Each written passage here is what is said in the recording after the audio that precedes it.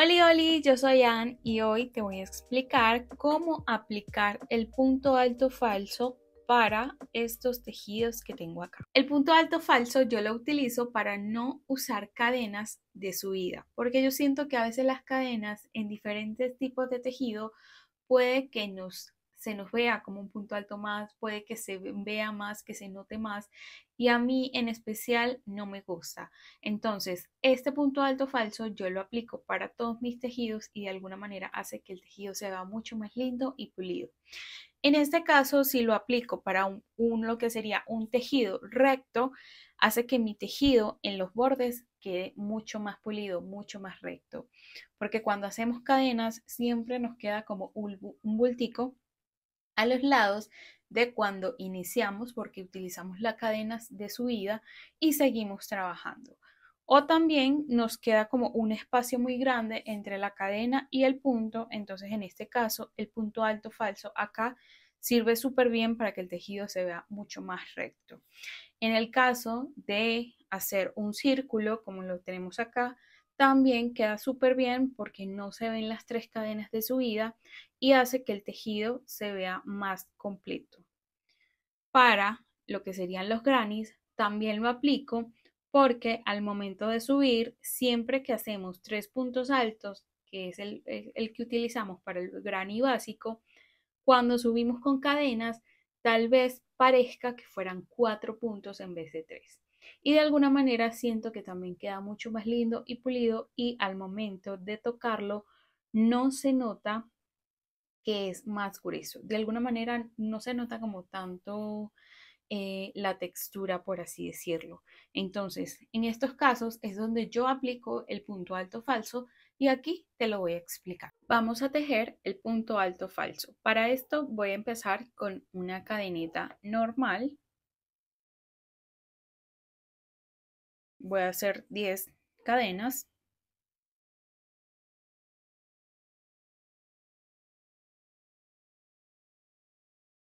Y voy a hacer una cadena más que vendría siendo como la cadena de subida.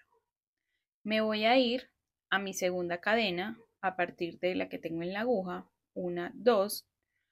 Pincho allí y voy a hacer un punto bajo. Y en medio de ese punto bajo, o sea, aquí, en medio de estas dos hebritas, voy a tejer otro punto bajo. Entonces, la cosa está en que sepamos dónde está la mitad de nuestro punto. Pasamos por allí, me traigo la hebra, tengo dos de nuevo y cierro mi punto bajo. Entonces acá ya tengo mi primer punto alto falso hecho con dos puntos bajos. Esto lo hago para ahorrarme el tema de las cadenas y que me quede de más. Entonces voy a seguir haciendo mis puntos altos normales, un punto alto en cada punto. Y aquí ya llegué a mi final y así se ve la primera fila de punto alto no tengo cadenas, hice el primer punto alto falso y así es como se va viendo. En este caso voy a voltear para seguir el cuadradito que vamos a hacer y no voy a hacer cadena porque no necesito. Me voy a ir directamente al punto alto de abajo, acá, con la hebrita y la aguja de una vez y hago un punto bajo. Y voy a tejer lo mismo. Me lo traigo, tengo dos y hago de nuevo. Y sigo haciendo lo mismo. En este caso, que ya voy a llegar al final, si se dan cuenta, pues ahí tengo la orejita de mi punto bajo anterior y es mucho más fácil pasarlo porque lo podemos ver y allí terminamos con punto alto. Volteamos y así se va viendo este punto alto falso para lo que serían filas. Voy a tejer lo mismo, punto bajo directamente en el primer punto y en medio de ese punto bajo otro punto bajo. Entonces, este punto alto falso lo que hace es que mi borde se vea mucho más bonito sin necesidad de colocar cadenas y que quede como, no quede tan recto, mejor dicho, y de alguna forma se parece más ese punto alto falso al punto alto normal. Este es el que yo utilizo para mis suéteres, mis tejidos como tal, porque me gusta cómo se ve y no queda abierto como sucede cuando hacemos cadenas. Ahora vamos a tejer el mismo punto alto falso, pero en lo que sería un círculo. Voy a empezar con un anillo mágico, lo cierro con una cadena para asegurarme de que lo tengo allí. Y aquí normalmente lo que haríamos o lo que se hace es que subimos con dos o tres cadenas y ahí empezamos a trabajar.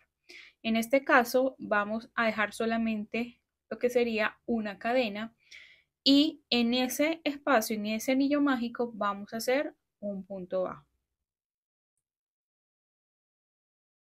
Aquí vamos a hacer lo mismo. En medio del punto bajo vamos a tejer otro punto bajo. Entonces la cosa está en que sepamos dónde queda el medio y está allí. ¿Sí ven? Pueden incluso hacerle el huequito con, el, con la aguja y por allí debemos pasar nuestra aguja para hacer el punto bajo. Entonces, hago mi punto bajo encima del punto bajo y allí lo cierro. Y ahí me quedó el primer punto alto falso hecho en punto bajo. Aquí voy a tejer mis puntos normales. Entonces, una vez ya metí todos mis puntos altos, cierro mi anillo y aquí ya lo que voy a hacer es punto deslizado en el primer punto, ah, que en este caso sería el punto alto falso. Lo paso por allí y hago punto deslizado. Y así me quedaría lo que sería un círculo y no se ven cadenas de más, sino que mi punto alto falso se hace pasar por un punto alto de más. En este caso, si yo quiero seguir haciendo puntos altos falsos, lo puedes seguir haciendo sin ningún problema. Ya simplemente es saber dónde queda tu puntico, allí lo haces, punto alto falso, te vas hacia la mitad, haces de nuevo el punto bajo y allí queda. Y ya sigues haciendo tus puntos altos normales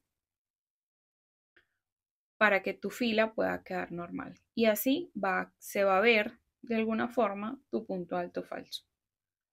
Ahora vamos a hacer un granning también adaptándolo al punto alto falso. Volvemos y empezamos con anillo mágico. Tomamos lebrita, hacemos cadena y vamos a ir directamente a hacer un punto bajo. Encima o en el medio otro punto bajo y allí ya tengo mi punto alto falso. Para hacer un granny necesito dos puntos altos más, dos cadenas y tres puntos altos. Debo repetir el mismo bloque, dos cadenas,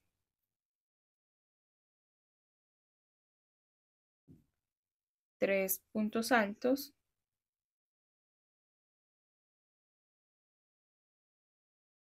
dos cadenas, me hace falta el último grupito.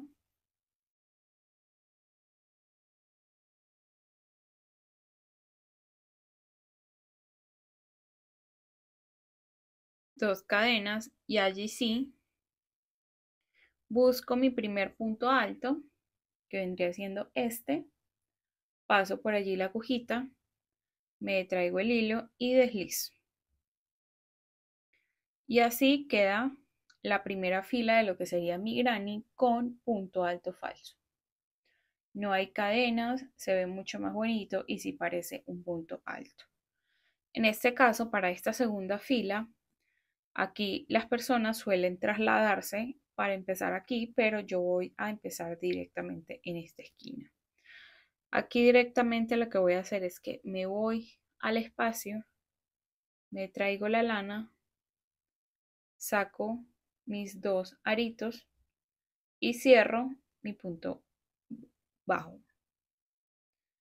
Voy a detectar la mitad de ese punto bajo para pasar mi agujita y hacer un punto bajo en medio de él.